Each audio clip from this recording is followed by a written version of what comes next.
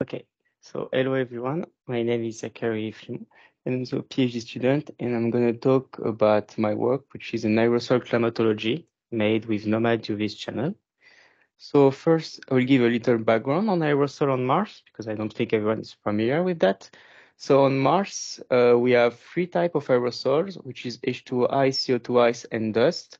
Usually we find dust close to the surface in troposphere and the presence of H2O, H2O ice cloud and CO2 ice cloud are found at higher altitude. It's important to study the aerosols because uh, they have a big impact on the atmosphere. So example, this plot is from Forget et al., where you can see the temperature profile versus the altitude. It's a simulation between when you have no dust in the atmosphere, a bit of dust, and more and more dust, hence the dust storm. And you can see that well, the more you have dust, the higher the temperature can increase. And when there is a dust storm, so a lot of dust, the, the temperature profile change a lot. So actually having information on the amount of dust and the vertical structure is really important for modelers.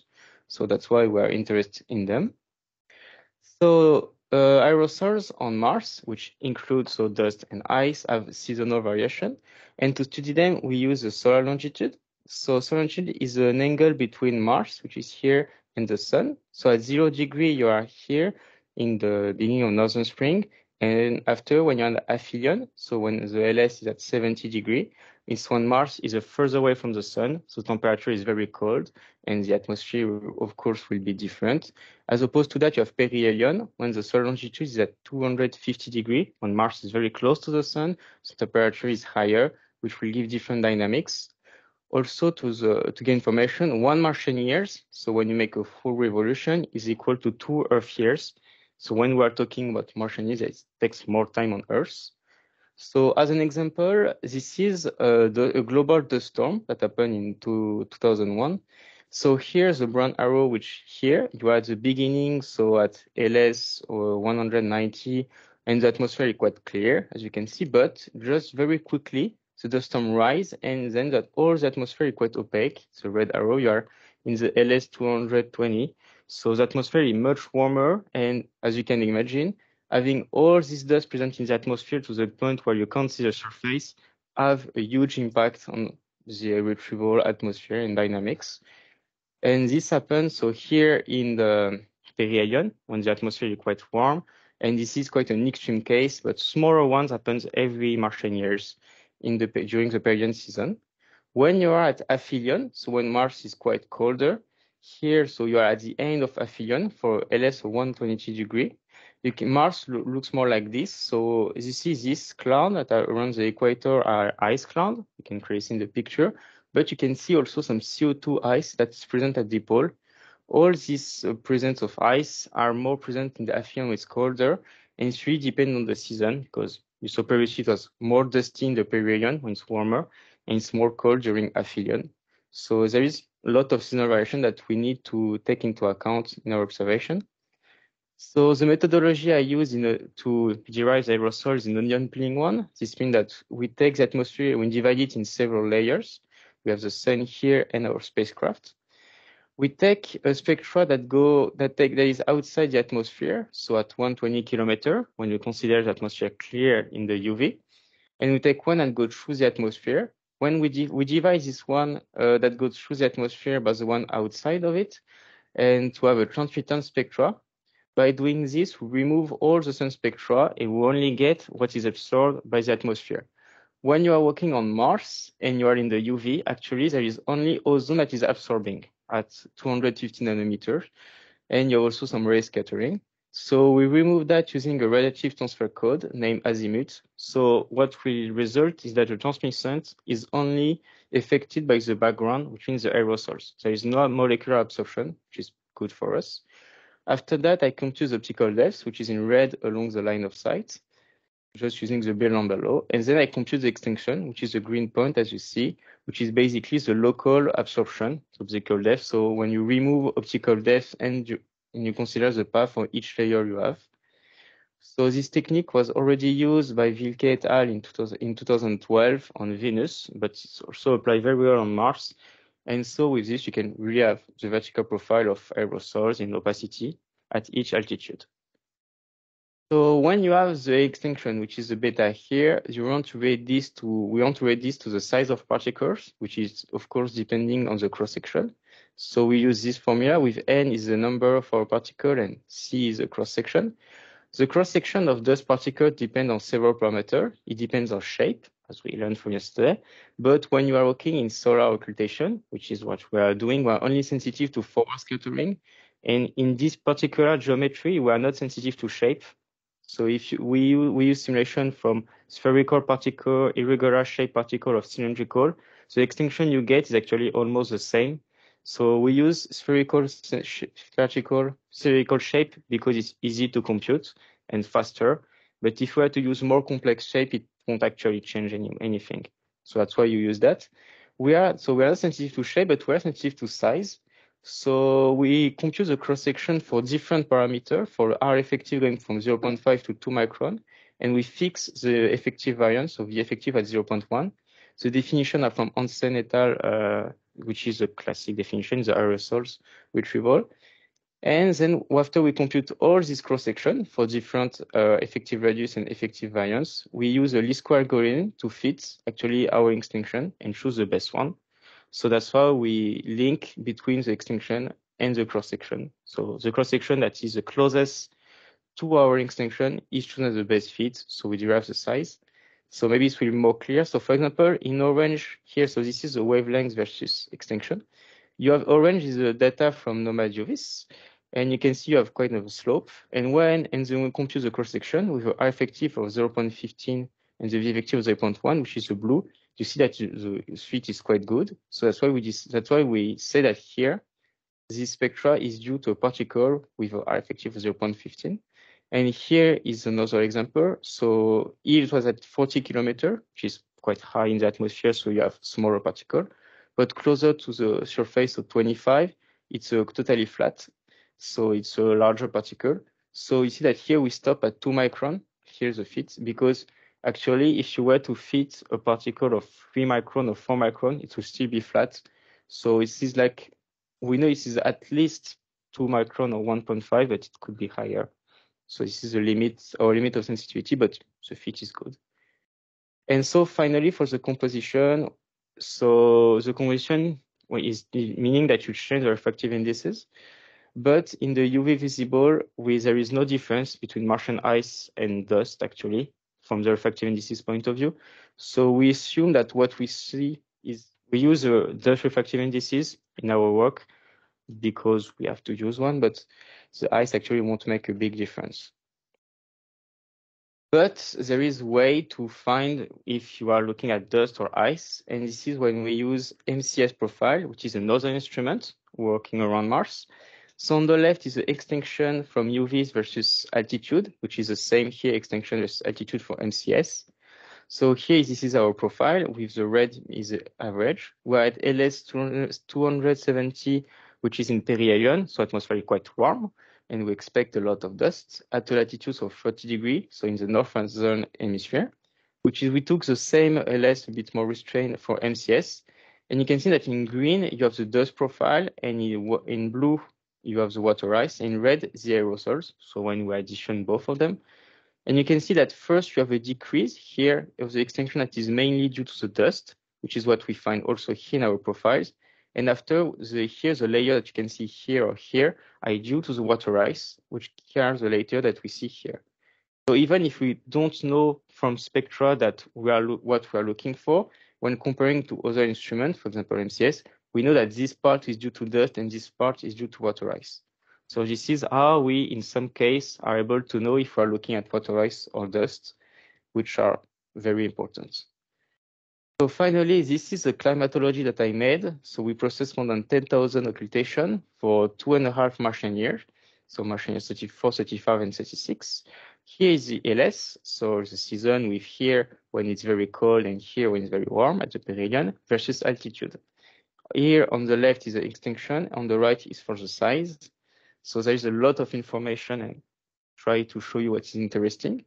So first, what's very interesting in here. So when you look at here, you see that you have dust extinction that's more than 80 kilometer. And if you look to Martian year 35 or 36, actually it's not. It's always contained below 80 kilometers. When you look at the size, it's the same. You see that there is quite large particle. So large particles like around one micron, which for us is quite large. But if you look to other year, actually it's not, it's much lower, especially here at 60 kilometers. So what happened in this March 44 at this time was, of course, a global a global dust storm, as the one I, pre I presented before. This is what happened in May 28 on Earth, and just after, you see that the whole planet is covered in dust. And actually, when this happened, you find dust at very high altitude, and we see it actually here. This is what. This is why in Martian year 34 we're able to see dust at very high altitude. Is because of this phenomena. So we see it, which is good. But if you go more into the details, so now I select the southern region. So for latitude, only from one, minus 70 to minus 30. And you can see that, of course, there is much less data, but it's interesting because you see here a very nice decrease of the extinction when you are in aphelion. So Mars is getting colder and colder, and you have aerosols and especially dust that will stay more to the ground. And it's it's really made of very small particles. You can see here it's very particle super small, like 0.24 micron. So closer you go to the surface, the higher it is. And this phenomenon can be seen in Martian year 35, minus 36. It's almost the same.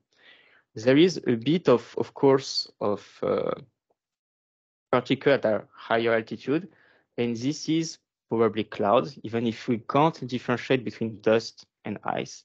The fact that you see smaller aggregates really at small detached layer at 60 kilometers, probably made of ice. So this decrease of extinction is interesting, but also when you look on the other side, perihelion, first you see particle at higher altitude because it's warmer, but you still see that the size increase a lot. So here at 40 kilometer, you have size that are more than more than micron size particle, which is very large. And if you compare to this, you can see the extinction also increase. While you are here, we don't have data. It's not because our failed, it's because the atmosphere is so thick that we don't have signals. So actually this means that there is here a lot of dust, probably, or aerosols that we are not able to see the ground. So it's actually quite interesting. And finally, when you go here, you can see that even if the extinction is not, is not very clear, the size of the particle are very large, especially at this region. So if you just look before, it's quite mixed with large particle here, and the more you go up, so lower it is. But here it's very large, and because this happened at this time, a regional dust storm. During this dust storm, the large particle will go at very high altitude, much higher than what they're supposed to be. I mean, here you can see micron size particle at more than 40 kilometers. In Martian year 34, it's also the case. So that's also a way that we can detect the storm, even if we cannot know spectrally. So when you are here, so we see this, but so here, if you remember, I just showed that there was a lot of large particle, but when you look at all the region together on Mars, you see that it's not that large. And that's because we have to go to the northern region where as opposed to the southern region, if you go, if you look at here, there is only small particle in the perihelion, so when it's supposed to be warmer. And on the opposite, you have larger particle in the aphelion. So this, these differences are important to take into account. But it's interesting to see that when you look at the extinction profile, so the opacity, you see here a detached layer. So it can be the same in Martian year 36 and it's also be here in Martian year 34. What I mean is that if you look at the lower altitude here, you have larger extension, it's going lower, lower, lower. And here there is an increase again. You can clearly see around 60 kilometers. So we suppose that this is a, a cloud. And this cloud seems to be made of very thin particle. So when you look in the, into the literature, actually, it is expected to see on Mars in the northern hemisphere. So this is where we are at perihelion, thin water ice cloud. So that's why we, the hypothesis that what we see actually here is this water ice cloud and it's made of very thin particle. So everything is good. We don't see things that don't exist. But it's really interesting to see that the behavior is very different from the northern hemisphere, from the southern hemisphere, and is, of course, depending on the season. And then finally here, yes, you can see it's still, even if it's still at low altitude compared to the perihelion, is a particle very large. So this is what we see here and here to explain that where here is the, because here is the average between the large and small particle when we are together. And so finally, but there is still some part that we didn't explain. And for example, this part here that was there. So now if we look at the equatorial region, you can see that here there is actually also detached layer with large particle between 40 and 20 kilometer. And you can also see them in extinction here. Uh, actually, it's something that I already presented before, because what we see is actually this cloud belt. This is called the aphelion cloud belt, which is present in the aphelion and also around the equator. It's a water ice uh, cloud belt that is already seen by previous work. And we, we can actually see it because it's here at 30 kilometer, an increase of extinction made of large particle. So we see here this in the picture, and you can see it in our work, which is good also. So, and it's also present in Martian year 36 and 35. This is a regular phenomenon on Mars. It's not surprising to see it. So yeah, and so finally, so when we look to all this region, we can see pretty much different uh, things. Can see, so here's the aphelion cloud belt. Can clearly see the decrease of the extinction in the particle. In the perihelion, you have to be careful when mixing all the latitude, but on average, the particles are, go to higher altitude, and they are large. And you can clearly see the dust storm here that we presented before, just the side that are very, very strong in all the Martian years. So this storm seems to happen in Martian years. And so finally, I also want to talk a uh, link between water vapor and aerosols. On the left is the latitude versus altitude profile of water vapor coming from Aoki et al. 2022. So they retrieve water vapor using the NOMAD SO channel, which is another channel of the instrument in the infrared. And what is important to see is here, you can see that this is in between LS 318 and 333, which is during the dust storm, the late dust storm that we presented before. And you have water vapor up to 80 kilometers, a bit below maybe 70, 75, with very strong concentration. When you look at here, so in Martian 34, at the same time, we see at 80 kilometers that we have a detached layer here in green, actually. Like, so it's going up it's decreasing here, which will be just above this uh, water vapor. So one of the explanation that we can give that maybe the water vapor actually went above the hygropause and because of the temperature, it froze and actually create this water ice that we can see actually here. When we look just after that, so the water vapor decrease, it's not more than 80 kilometers, it's now at 60 kilometers. And the dust, so the aerosols, are below 40 kilometers. So one of the explain that the dust storm is not here anymore. So because it's not here, the atmosphere is not warm enough to bring particles to higher altitude. And then the water vapor cannot freeze anymore. So that was, we don't see a cloud above water vapor here. So mm, there is probably a link between the water vapor and the water ice, which makes sense. And by maybe looking at water vapor, we can also find some water ice cloud. So yeah, so just finally to summarize our work, in the UV you cannot differentiate between dust and ice from spectra, but you can use other methods by looking at other instruments and other parameters. We saw that there are a lot of seasonal and latitudinal variation for aerosols. The, the, during the dust storm, you can uh, they can be detected or by the fact that they bring aerosols to very high altitude, or by the fact that you see much larger particle. And finally, we found some link between water vapor and aerosols. Yep. Thank you.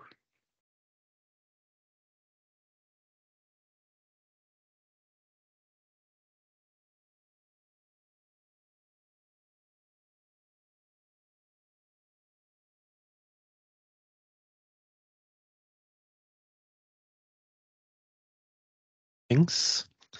Um, thank you for the nice talk. Um, I have several questions, but I will let other people talk. Uh, so my first question is, uh, for the assumption uh, you used to derive the uh, particle size, you assume a fixed variance of 0.1. Have you done other, uh, have you tested other values for these variance? Because yes, so we, yeah. changes. Yes, of course. So at first we use as a free parameter, but the issue that when we look at our vertical profile of size, it gives some unrealistic uh, distribution. So because when there is, so when the effective variance was too big, we were fitting very small particles. So for example, because if you use a 0.1 micron particle, so very small one with a huge variance, of course, the fit will be very flat, almost like a large particle with a small variance, which is not something realistic. So we made several sensitivity study, and yet we choose to fix to one variance because it gives us the best distribution and the best vertical profile. So, but of course, other value or maybe a bit more can be used, but we choose to stop at there.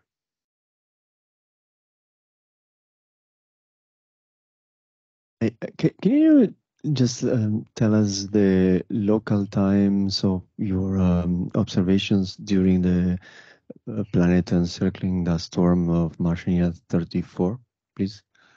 Sorry, can you repeat? Yeah, just if you can tell us the range of local times you have during the uh, global storm of Martian 34 so, for your observations. So because we're in circulation, our observations are in the terminator, so it's all the morning or the evening. But I didn't put the difference. Uh, so do you do you have a do you have a profiles in the morning and yes. in the evening? And do you observe a change in the altitude of the of the dust between morning and evening? So we don't have many profiles actually. Like I mean, at the same time, morning and evening. So I was not really able to have enough profile to be to say that there is a difference. That that was a result that came out of um, Mars Climate Sounder, and they they were observing this very uh, very large difference in altitude between day and night uh, during the storm. But it but would be nice to to compare. But yeah, but don't have, I don't have enough data to really make something to be Thank confident in. Thank you.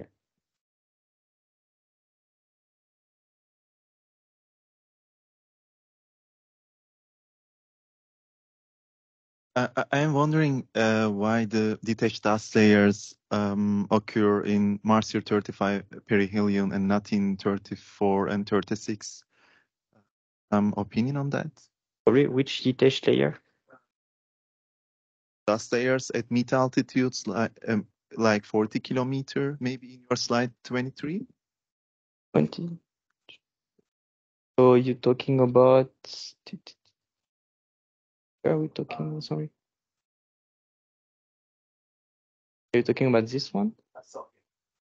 Uh, yeah, so maybe it will be more clear. So this one happened actually in here also in machine 33, 35, and 34. Yeah, yeah, it's a, it is highly, highly, because in my data, I don't know, but this is very, very probably a water ice cloud. It's present here, here, and here. Enough.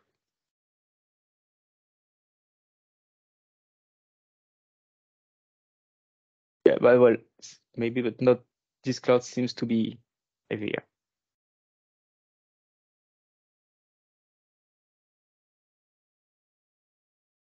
Follow on these profiles a bit. Um, you said uh, in your latest uh, that for the clouds, you are not seeing them um, you are not seeing them uh, after the global storm. Ah, yes. Yeah, sorry. Yep. Um, and I'm not sure. So here, if there is no spot, it's like you have no observation or you observe nothing. So here I observe nothing. Okay. Like zero opacity.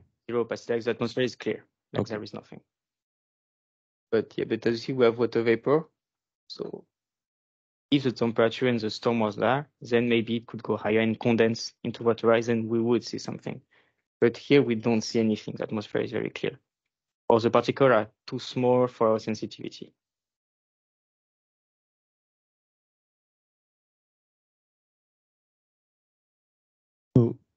I have a suggestion for these plots because it's following following up uh, uh, Antoine's questions. Because sometimes you know when we see no data, I mean when we see no colors, we we interpret as like oh there are no data, and it's important to know that there are data but you don't see anything. So maybe you put put like gray Yeah, put- symbol I whatever. put some gray stuff. Yeah.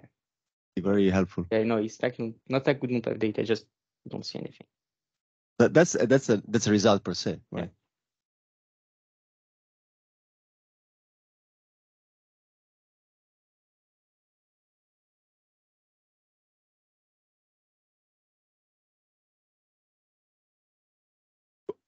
Above you always have data because you start at the very top of the atmosphere and you get down. It's just at the at the uh, in the in the bottom, then maybe you don't have fun. You have measurements, but maybe it's too opaque and you don't you cannot say anything. But above it means you have nothing.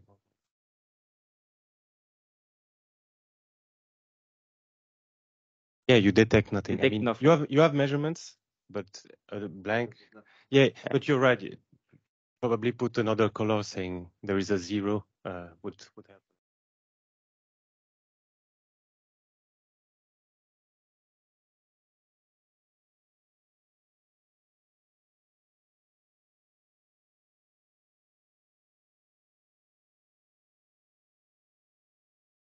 Um, one last question. When you compare to MCS, uh, have you done comparison during the aphelion cloud belt? Because um, for the tropics, this is a season, wh- so this is like in the dusty season, but um, in the aphelion cloud belt uh, period, um, you have this huge uh, interfacing between Yes. water ice clouds and dust and even EMC, in MCS retrievals, it's not always so easy to decipher from the two. So have you looked at that? Uh, not yet. No.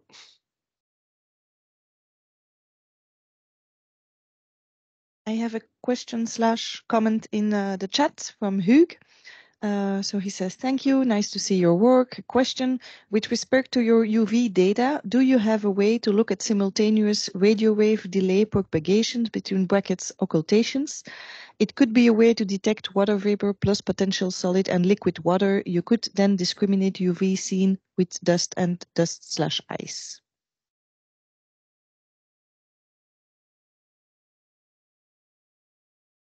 So, uh, the question is to use radio occultation to distinguish them. So, yeah, no, no, I know, I know, I'm just thinking. So, I don't know if it's possible, but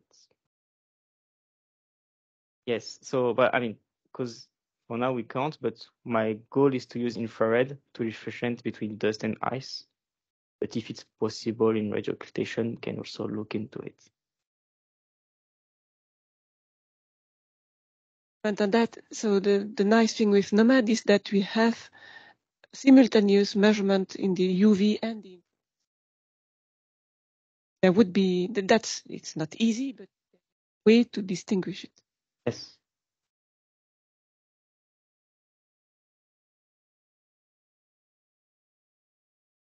Anything else?